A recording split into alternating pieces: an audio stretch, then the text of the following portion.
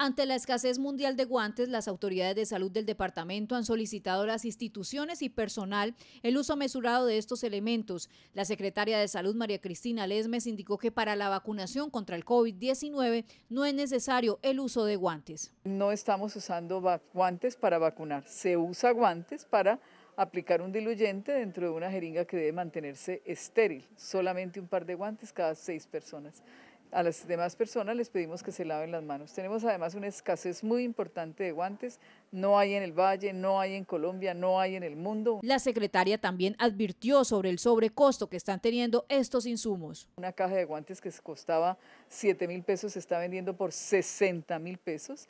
Entonces hemos recomendado a nuestros vacunadores tener un aseo de manos muy importante y no usar guantes y les pedimos a la ciudadanía que comprendan que no tienen ninguna infección en el brazo y que el guante no defiende a la persona que recibe la inyección, sino a quien la está poniendo. Cabe resaltar que para otros procedimientos médicos, quirúrgicos y de alta complejidad sí es obligatorio el uso de guantes.